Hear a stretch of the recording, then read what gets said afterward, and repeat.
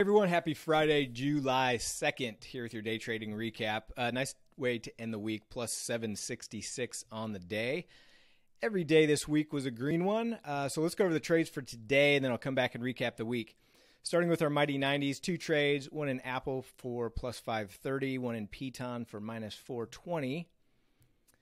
Uh, no pairs trades today. And then on the runners, uh, Airbnb basically a scratch minus 10, Boeing plus 875, Facebook plus 340, Piton 210, Roblox plus 391, and then Tesla, my uh, big loser of the day, minus 1150.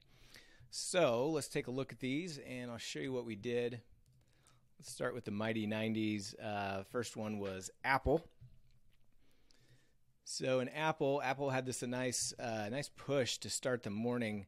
Uh, got a little spike in volume right here, got short and kind of chopped around for a little bit and then finally flushed down and I just closed it out there for a nice $530 winner. Uh, Piton, Piton I did a Mighty 90 and then also a runner. So the, the Mighty 90 was a loser, had this nice flush, uh, escalating volume, got long right here. Uh, started to bounce. By the time I got out, I ended up taking a loss on that, but then I turned around and got short uh, for downside runner and caught this down move. So winner on the runner, loser on the mighty 90. And then on to the runners. Uh, the other runners, Airbnb. Um, Airbnb was a scratch. Uh, basically, let's see, what did I do? Oh, yeah.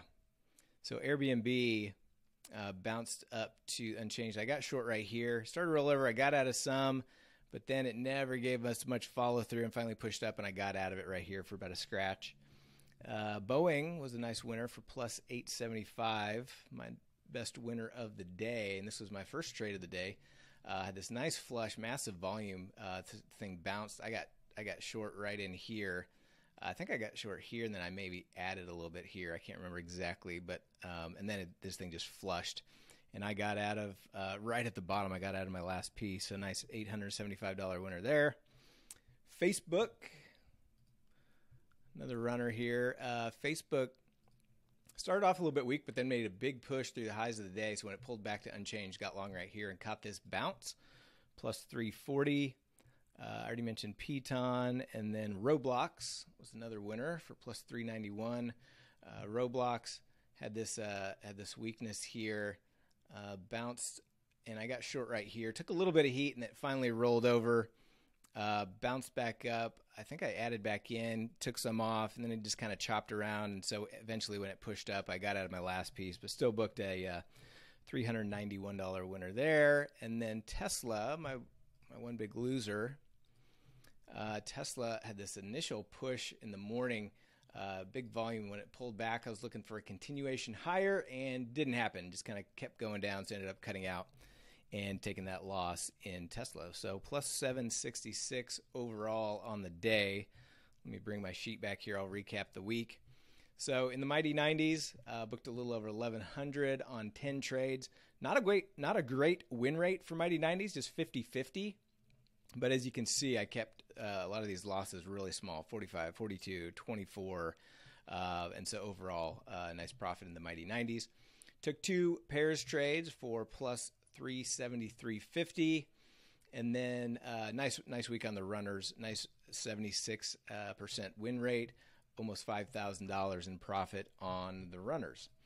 So total profit for the week uh, over 6,500. So one of my best weeks of the year. Had one back in May of 7,600.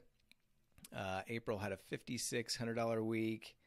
Uh, February of 5,400. So yeah, my second best week of the year, plus 6,500 on the week. So and every every day this week was green. Monday 708, Tuesday 491, Wednesday 2100, Thursday 2400, and then today 766. So on a little five day win streak, uh, and so that puts us at uh, total um, total profits for the year to date, a little over 52,000.